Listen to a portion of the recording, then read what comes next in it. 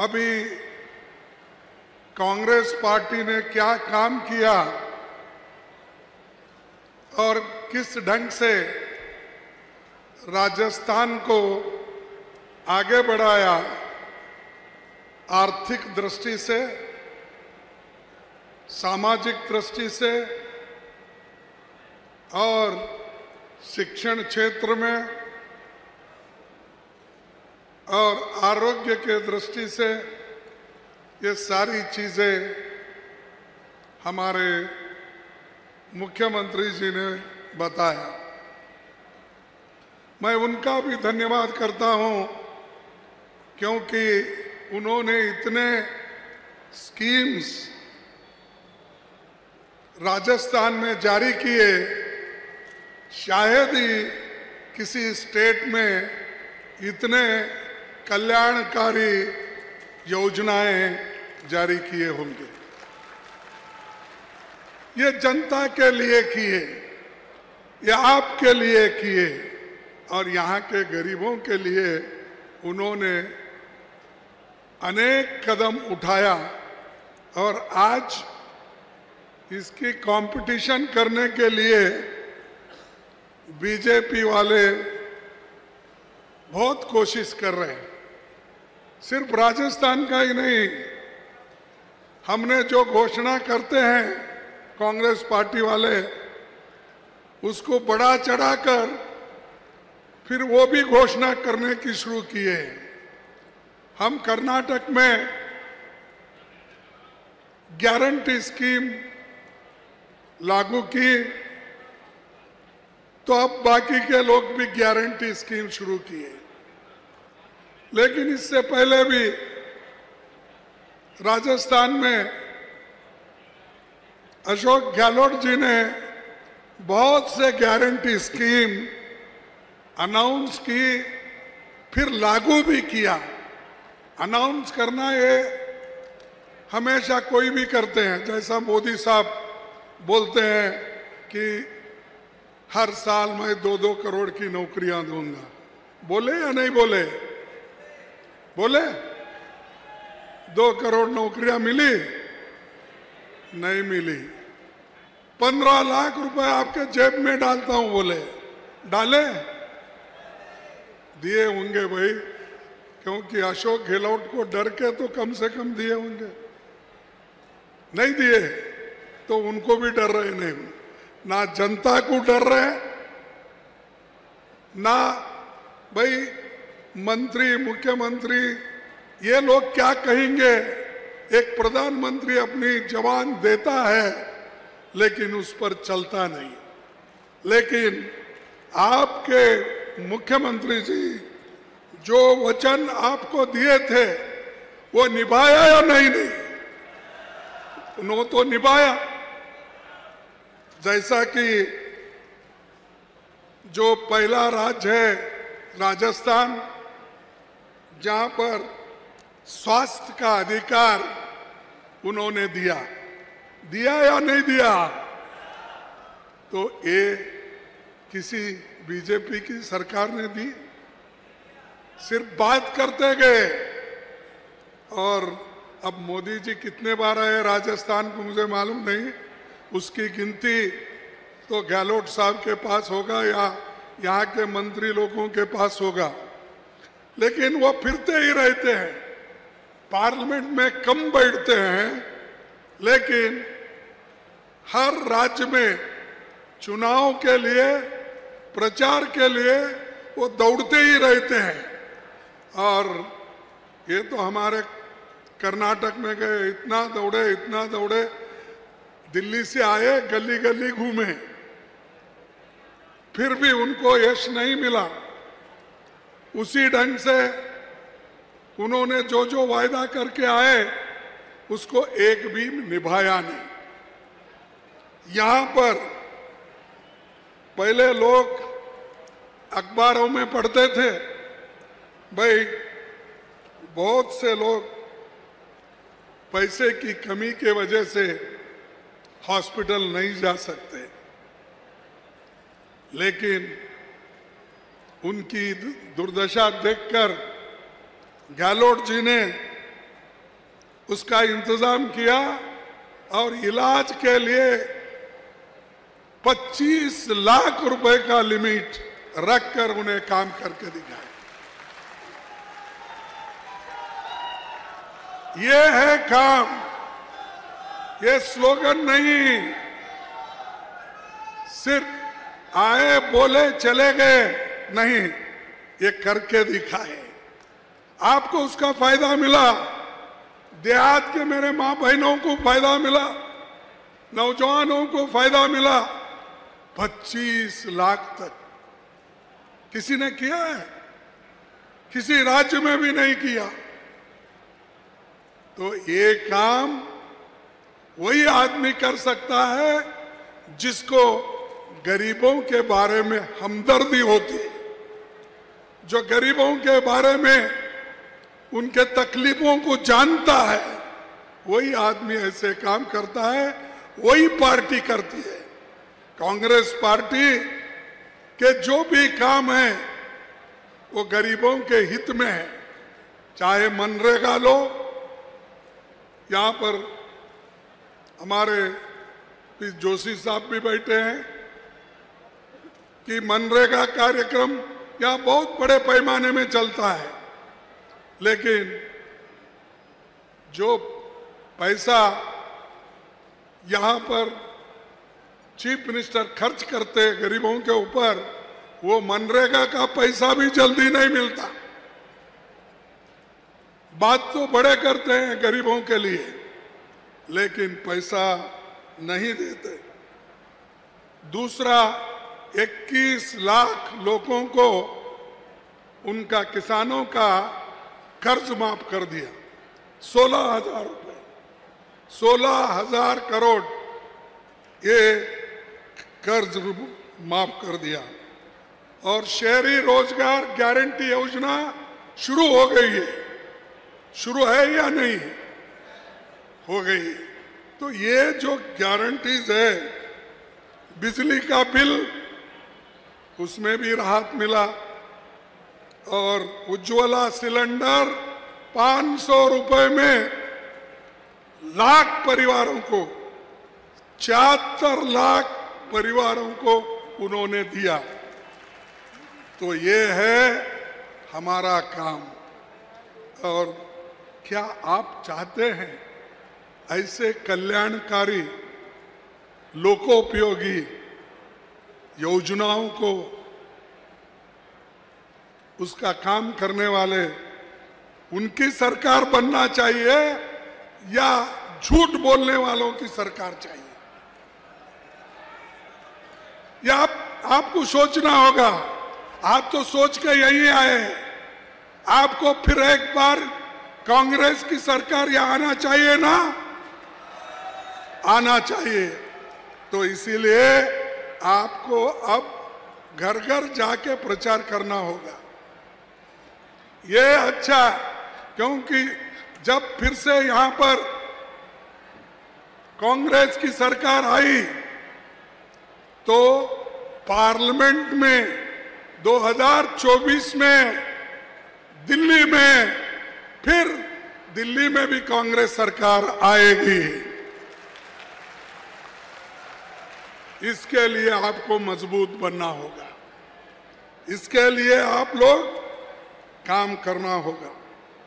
दूसरी चीज़ मैं सुनता हूँ, भाई यहाँ पर नहर परियोजना एक इरिगेशन प्रोजेक्ट है, जिसको मोदी जी ने दो बार वायदा किया था, ऐसा सुना मैं। एक जयपुर में दूसरा और और एक जगह उन्होंने दो बार ये नहर के बारे में कहा था कि मैं इरिगेशन प्रोजेक्ट के लिए पैसे देता हूँ। आज तक उसका पता नहीं। लेकिन हमारे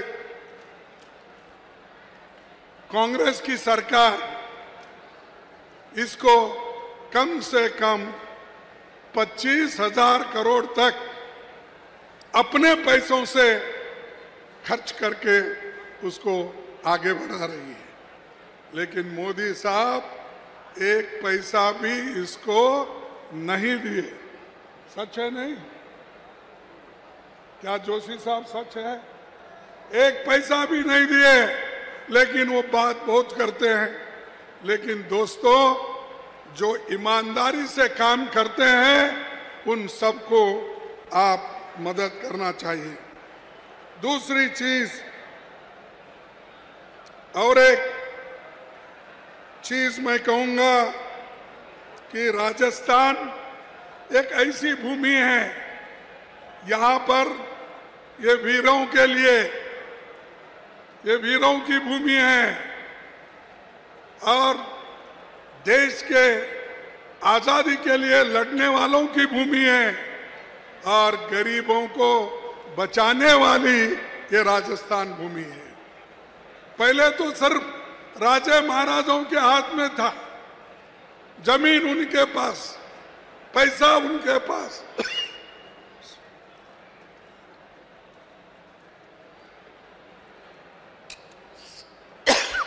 सब कुछ उनके पास था। लेकिन जब महात्मा गांधी जी ने, जवाहरलाल नेहरू जी ने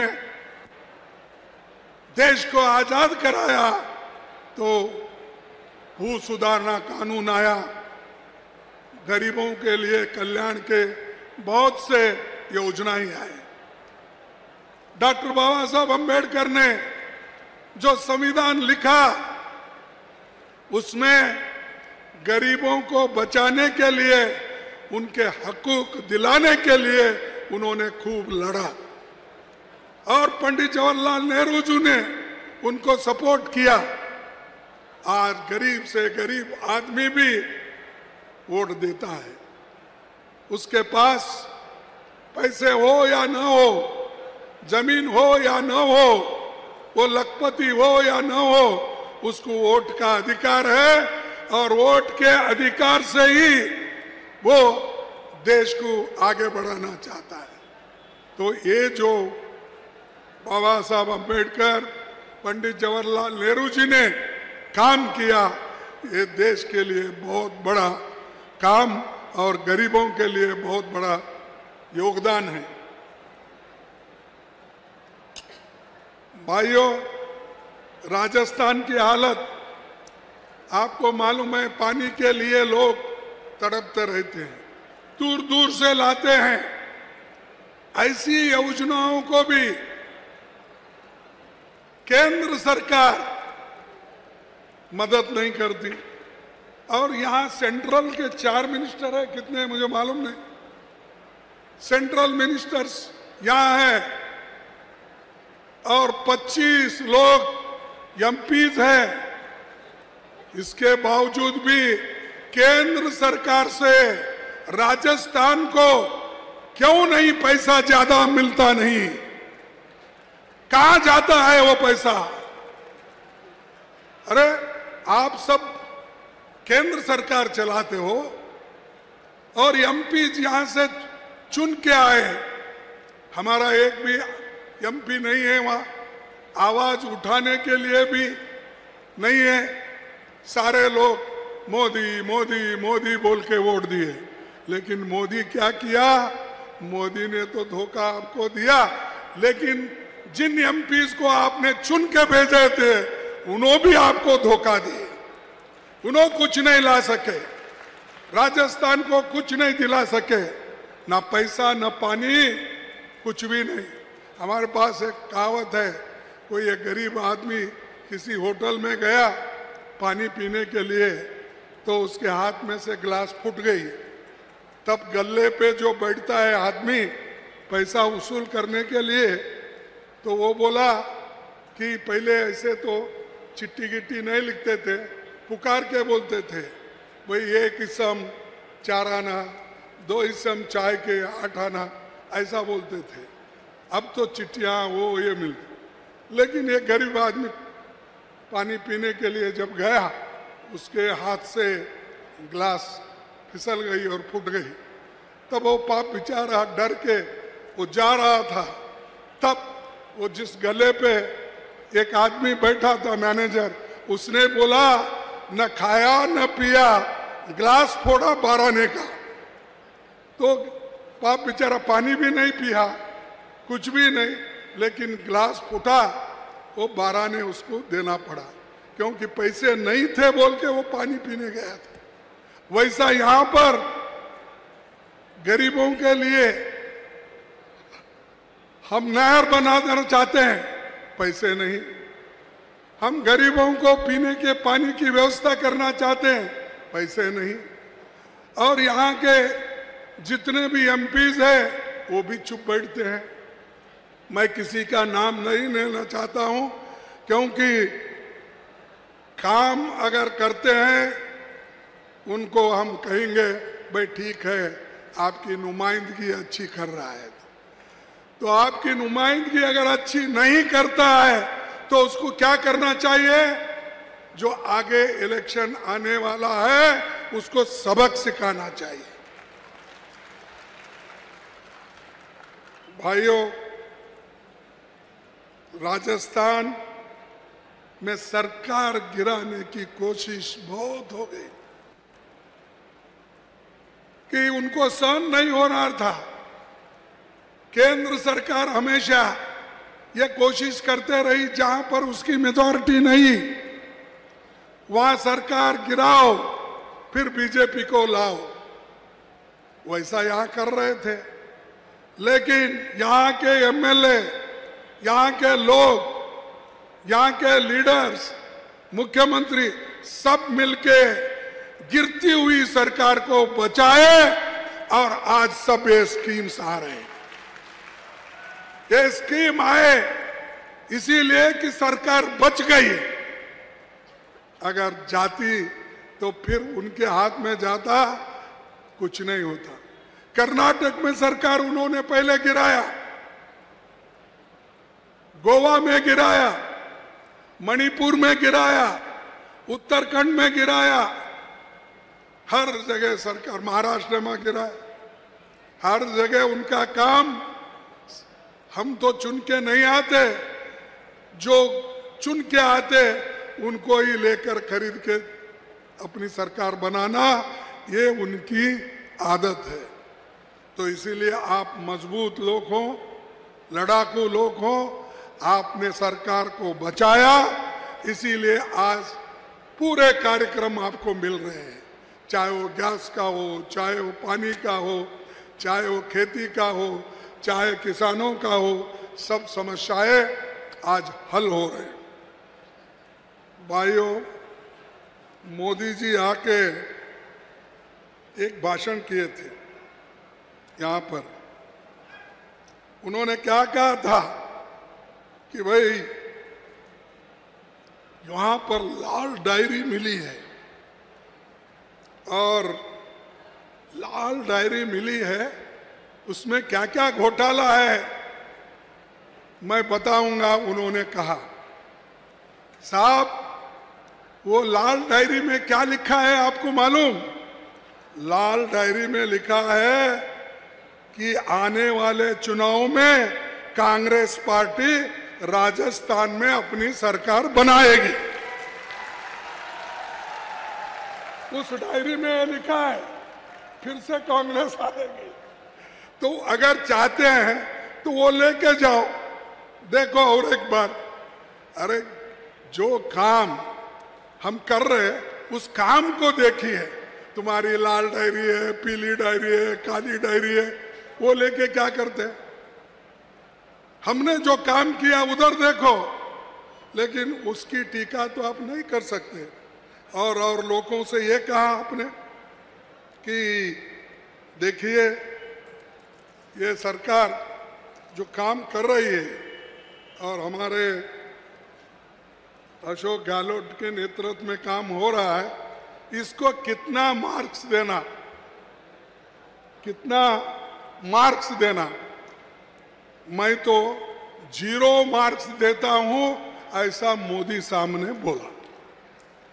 मैं पूछता हूँ, ज़ीरो मार्क आप दे रहे हैं, क्या इसके लिए दे रहे हैं कि किसानों को जो हमने फ़ायदा पहुँचाया, उनका कर्ज माफ़ किया?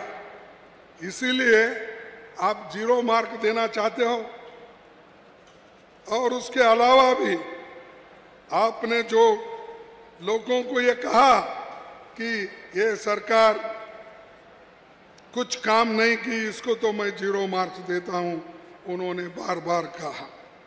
तो इसीलिए भाइयों, जो काम हमने किए हैं, वो सब आपको मालूम है।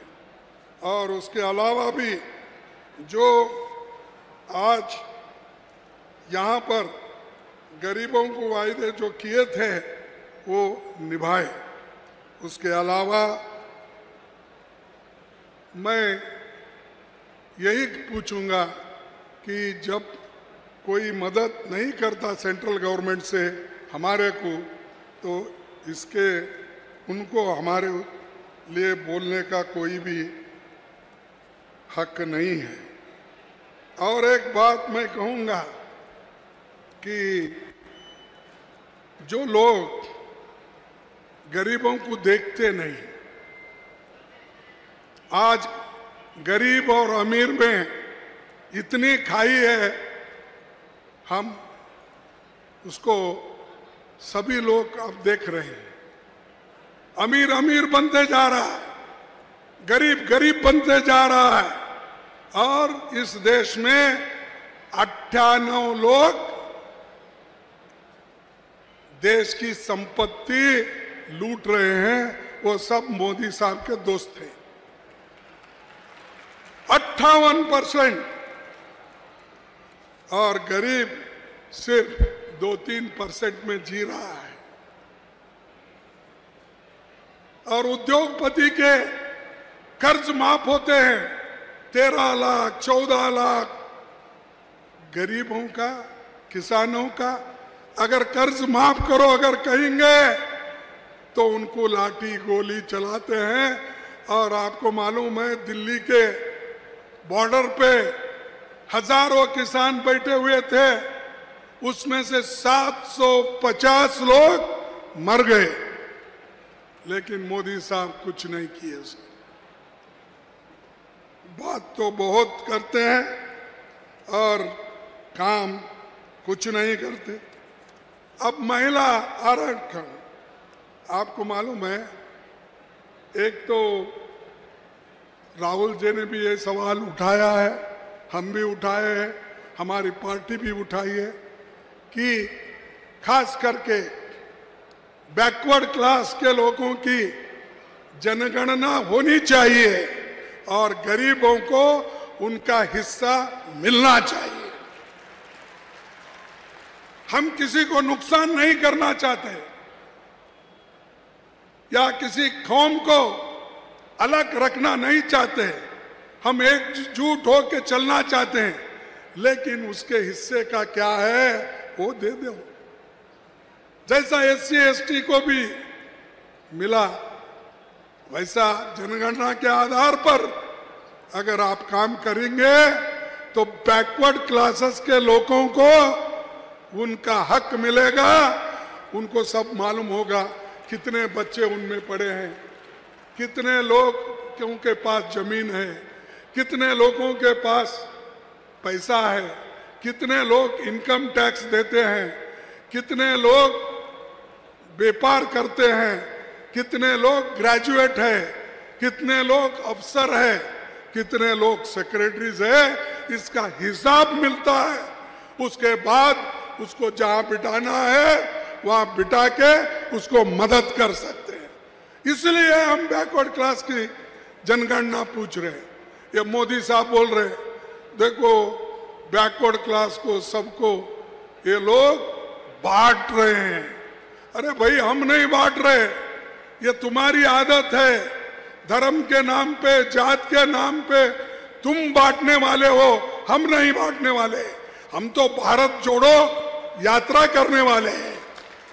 हम कन्याकुमारी से कश्मीर तक 4,500 पैदल हमारे लीडर ने चला। तुम्हारा कोई आदमी चला ऐसा इतना कहीं आपने दुख दर्द देखा? दूसरों को टीका करते हैं। ये लीडर्स सोने के चमचे से खाते हैं, फलाना करते हैं। अरे जो आदमी इतना फिर रहा है, सबके लिए, उधर देख रहे नहीं, लेकिन कांग्रेस के बारे में टीका करना, कांग्रेस के बारे में कहना, ये बात चल रही है। लेकिन हम हमेशा लड़ते हुए आए हैं, लड़ते रहेंगे। और जितना भी जो भी काम हमने किया है, वो आपको मालूम है। चाहे इंदिरा नहर हो, क्या इंदिरा नहर, ये कैनाल क्या मोदी ने बनवाया है? कांग्रेस ने बनवाया है। एम्स किसने बनाया? कांग्रेस ने बनवाया। जहाँ जहाँ भी बड़े डैम्स बने, वो सब कांग्रेस ने बनाए। आप कुछ नहीं बनाए। सबको झगड़ा लगाने का काम किए। और ऊपर से बोलते, देश के लिए हम लड़ने वाले। परसों उनकी फ़ोटो देखा मैं। कहाँ पर? पार्वती कुंड। वहाँ पर फ़ोटो देखा। ऊपर सफ़ेद कपड़े डाले। अंदर क्या है बोले तो जैकेट, पैंट है।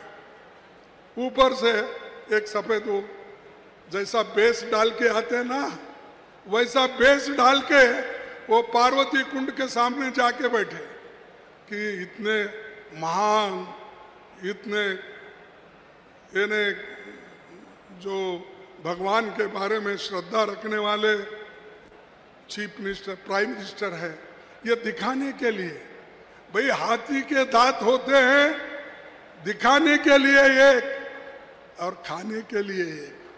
वैसा ही मोदी जी का है। दिखाने का एक, खाने का एक। अब इससे ज़्यादा नहीं बोलूँगा, क्योंकि मैं एक तो जनगणना चाहता हूँ बैकवर्ड क्लास लोग मज़बूत हो जाओ, लेकिन दूसरों भी, दूसरे लोग भी मज़बूत बनना, इसमें भी हम कांग्रेस पार्टी विश्वास रखती है। सबको समान, सबको फ़ायदा होना, इस रास्ते पे हम चलना है। और महिला एक रिजर्वेशन हमारे माँ बहने उधर बैठे हैं। मैं देख रहा हूँ जरा अशोक जी और हमारे कांग्रेस अध्यक्ष, तुम महिलाओं को इधर जगह ही नहीं देते। या तो उधर देते या तो इधर देते। मैं देखा हूँ एक ही मीटिंग में नहीं, मैं छह मीटिंग में देख रहा हूँ। या उधर बिठाते या इधर बिठाते, बीच में मर्दों को बिठाते। पुरुषों को बिठाते हैं। तो उन माँ बहनों के लिए सोनिया गांधी जी ने, राहुल गांधी जी ने, इससे पहले राजीव गांधी जी ने, जिसमें सब लोग एक मिनिस्टर थे, गहलोत थे, हमारे दूसरे यहाँ पर बैठे हुए सभी साथियों में से किस, किसी न किसी आदमी मंत्री पद हो। तब से हम लड़ रहे हैं। जैसा कि हम जिला पंचायत, तालुका पंचायत और ग्राम पंचायत के लिए लड़े और महिलाओं को रिजर्वेशन मिला। आज महिलाएँ जिला पंचायत के अध्यक्ष बने हैं। अभी एक महिला अध्यक्ष बन के हमारे पास जो आए थे, उन्होंने शुरू में तकरीर की। ये सब कांग्रेस पार्टी जो गरीबों को पावर देना है, शक्ति देना है महिलाओं को शक्ति देना है, वो देती रही है। नहीं तो आज कोई एस सी बैकवर्ड महिला अध्यक्ष नहीं बनती थी या नहीं बनता था। ये देन है राहुल गांधी, ये देन है कांग्रेस पार्टी का। हम उसी ढंग से पार्लियामेंट और असेंबली में लाना चाहते थे, उसके लिए हमने काम किया। लेकिन हमारा जो लाया हुआ बिल था, वो उस वक्त यही बीजेपी वालों ने फेल करा दिया। उसको सपोर्ट नहीं किया तो गिर गया। लेकिन आज मोदी जी आके बोलते हैं भाइयों और बहनों, हमने वो बिल लाया। और कांग्रेस वालों ने बेदिली से उसको सपोर्ट किया, मजबूरन सपोर्ट किया। अरे, मजबूरन सपोर्ट? पैदा तो हमने किया, शुरू तो हमने किया। हम बेदिली से सपोर्ट करते हैं, हम तो दिल से चाहते हैं कि महिला ऊपर आए। और कांग्रेस पार्टी में ही एक ऐसी व्यवस्था है, महिला हमारी प्रधानमंत्री बनी। यूपीए की चेयरपर्सन महिला बनी हमारी। स्पीकर, पहली स्पीकर महिला बनी हमारी। पहली जो राज्यसभा हमारे राष्ट्रपति बनी, वो भी तुम्हारे राजस्थान के गवर्नर थे पहले। उन्होंने राष्ट्रपति महिला को बनाए, पहली वो भी। सब चीज़ पहला हमारे हाथ से हुआ। तुम सब बाद में हमारा देख के कॉपी कर रहे हो। हमारा, लेकिन हमारा तो कॉपी है। कॉपीराइट तुम लेना चाहते हो, लेकिन कभी जनता आपको कॉपीराइट नहीं देंगी, नहीं भूलेगी। कि कांग्रेस ने जो काम किया, वो हमेशा वो याद रखेंगे। आज भी याद रखते हैं, आने वाले दिनों में भी याद रखते हैं। तो मैं इतना कहते हुए मैं आप सभी को धन्यवाद देता हूँ। इतनी कड़ी धूप और सुबह से आप लोग यहाँ बैठे हुए हैं अपनी बात सुनने के लिए और कांग्रेस पार्टी को मदद करने लिए। इसीलिए मैं आप सभी को धन्यवाद देता हूँ। सबको नमस्कार।